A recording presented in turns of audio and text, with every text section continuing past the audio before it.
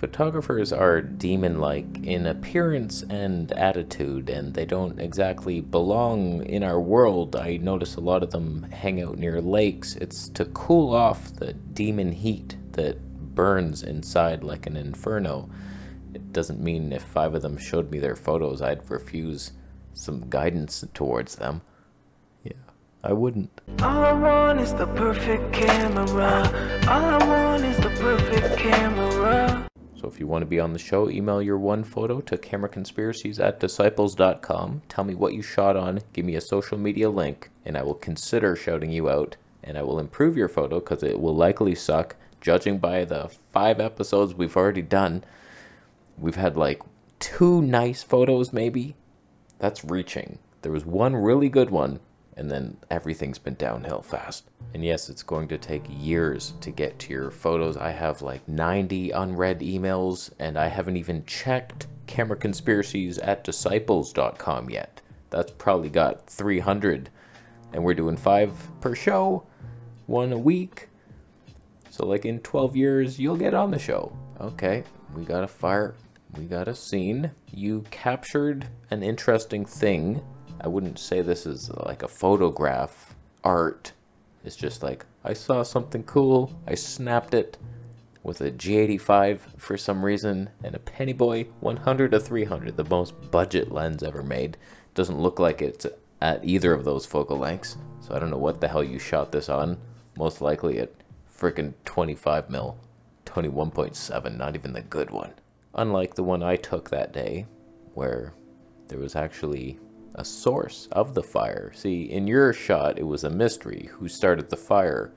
We know it's just an old man barbecuing some duck legs, and that actually scared off the duck and his family because they were like, uh oh, he's cooking duck? That? I don't feel safe here, so let's leave. And the giant ducks took off and they left, and the old man starting such a huge fire for a little tiny meal. I was like, why? Why so much? But thank you, Jacob, with the Fred Meyer beanie and no social media links whatsoever for your snapshot of an event that you had nothing to do with. Yeah. Okay, we got another Mr. Creative with the shutter speed. I stood here, there was traffic lights. Oh my god, it looks like ghost lights and a train. Oh, and I got the clock at the top. Look at the clock, and there's people on the right, and they're in the shadows because I didn't properly expose because I had to blur the lines. Your shot's bullshit. There's nothing interesting in it. The technique's been done a million times with more creativity than this. It's one of the worst shots of our time. A D7100. Isn't that a Nikon DSLR APS-C let me guess, the kit lens took this shot? Wouldn't surprise me. When I was there, I had a better camera, and a robber wanted it. And I was like, you do realize Batman's right behind you. He's on the tower. If you would just turn around, you would see you're already defeated. Can't we just work together here? So like, I wasn't even nervous when Batman's there and he's looking down, there's a robber, he's gonna help me. And no, he did not take my Sony X3000 because he knew he wouldn't deserve it. That's the truth. Oh boy, we got a ton of addict. What is this? What even is this? Your subject is just darkened in the shade. It looks like just little elf statues. It's the most boring shot I've ever seen. If it was like a talking head video or something, and you're talking and that's your background, I'd be like, oh, it's kind of cool. I'm looking, I'm seeing cat's eye tunnels. Frickin', you stopped it down slightly. I can see the hexagonals and the bokeh balls. Your subject, where is it? Paul Slaathaug? You slath hug? No one would hug you. This is the worst shot of our time. They're just getting worse and worse as we go. I thought you guys were professionals and I was the moron who only does YouTube. Look at this guy. He's trying to tell us what to do and then this is the shit you're going to send my way. What even is this? Get a light bulb or something. Even one of your lamps in the living room to light your subject at least. It reminds me of a shot I took last December when I was invited over to the Northrup's house to bury the hatchet. They were like, you know that tonne thing? It, it's fine. Uh, We can talk about it. We'll work something out. We forgive you. And I was like, okay, I'll come over. Maybe I'll take a picture of you guys. I'm a I'm a portrait photographer. Back in the day, uh, let me let me flatter you. So he was like, okay, I'll stand in front of my Christmas tree lights, and I was like, okay, I'll I'll take this at 1.4, I guess. And he was like, 1.4? What do you? You're joking, right? I was like, oh, sorry, it's all I have. And he's like, let me get you a lens. And he brought me out a a Zeiss 91 mil Tony 0.6. I was like, Tony, only one of your eyes is going to be in focus, like maybe two lashes. He was like, take the shot, okay? I need a blurry background. I need this. You have no idea. When I was a child, I was walking, and there were things behind me I didn't want to see. People were chasing me home from school. I just wanted to be home and eat my sandwiches. And from now on, I will blur out whatever is behind me. Because I do not need that right now. So you take this shot at point 0.6, and if you don't stop it down to point 0.5, I will sue you. I will eat your lunch. So I took the shot. It was alright. One eye was in focus. It's a good shot. For the love of Mary Poppins, why are you sending me these snapshot photos? You're in a museum. It's so noisy.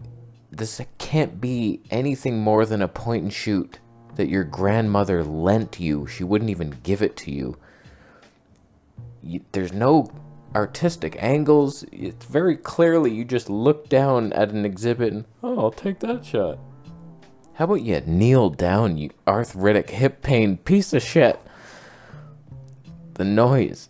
Oh, it's not even a cool looking alligator. It's like a prehistoric worm tadpole alligator. It's not even threatening.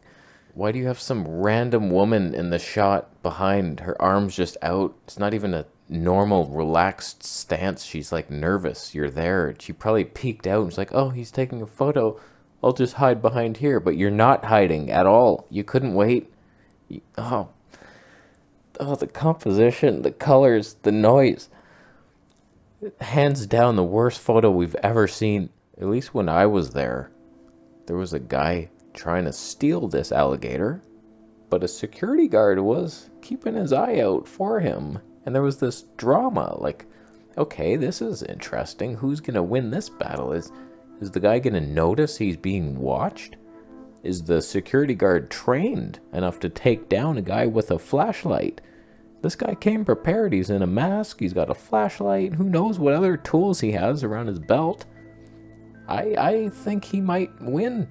He might steal that alligator. It's big. I don't know how he's gonna carry it. He's not the biggest robber you ever seen. Add some kind of mystique to the shot. Don't just snap and point. We've all looked down at an exhibit and it was there. Kneel down. Nobody crouched. Or maybe a top down view. That would be hard. On the neck. The worst shot ever. Okay, last shot. Looks dangerous. Don't know why you're doing this. You're burning a couch in the middle of nowhere, being irresponsible. You probably had 15 beers already and you're not even getting started yet. You're promoting irresponsibility and uncouth behavior, and I do not support you. And that's too close. You're too close to the fire. It's dangerous. What if some kid replicates it and burns one of his sleeves? You gonna replace the shirt? What if it was a one of a kind vintage shirt? Didn't think of that, did you? You're an ass. I think it's high time you grew up, Ross Bodden man. It's no longer campfire with the boys. What about your family? Where's the marshmallows in the shot? Why don't you do something with your life, you potato couch freak? It's couch potato. When I was there, I was actually the one who called the fireman, and I noticed that he was about to help you, but then little did he know that there was actually a Bigfoot in the forest. So you actually led an honorable fireman into like a Bigfoot cave due to your irresponsibility, and he almost died. They're not trained to fight Bigfoot.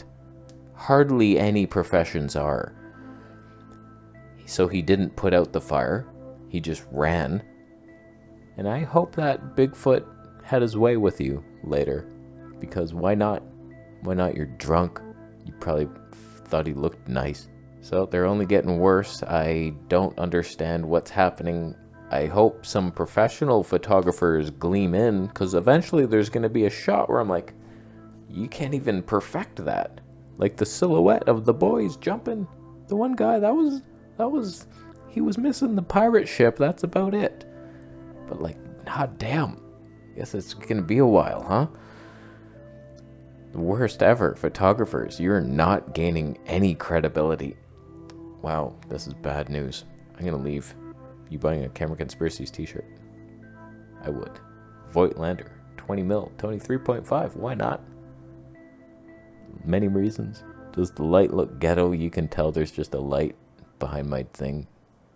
It's on a laundry stand.